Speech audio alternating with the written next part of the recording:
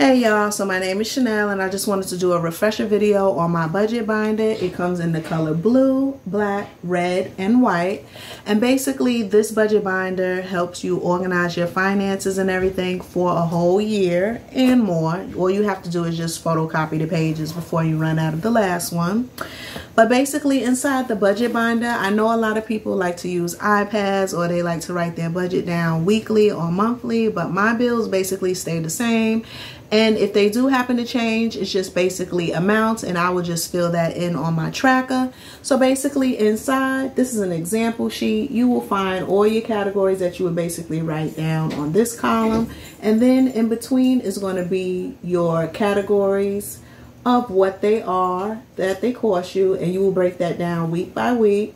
And actually on each sheet it's going to be a breakdown of two months. I know some people like to use the ipads and electronics but i like to see everything at a glance. I don't like to move in zoom out. I just like to see everything right there. So everything will be right there for one month and then your other month is on this other sheet and because I know people have due dates and they want to know the difference between if it will make the due date deadline or not, I also include a calendar for whatever calendar year it is.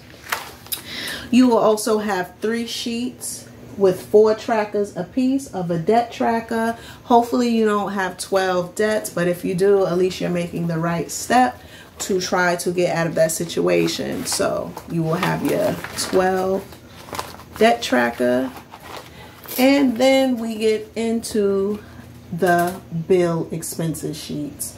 And you will have enough for a whole year. So basically two months on each sheet. Two, four, six, eight, ten months, the year. All you have to do is make a photocopy of the last page and you can continue for years and years. Then you will have three envelopes to keep things like receipts, bill statements, things of that nature.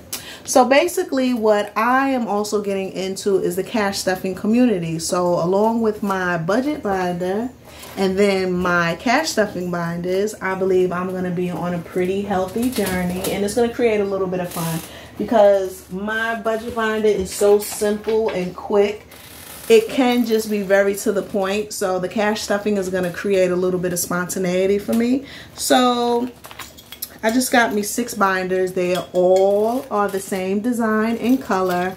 Me, I just like my things to be a little more, you know, um, similar, but I was just going to separate it by the names of them. So I did use my Cricut machine and I did write the name of the binder on the outside. And then just to show a little difference, I did get each binder a pretty sparkle keychain. And in my next video, I will get into the categories that I use for my binders. So thank you for giving me your time. And make sure you visit my website, keepcalm, and click on the Keep Calm with Simplicity link to get your organized binder for your budget. And again, it comes in four colors, blue, white, red, and black.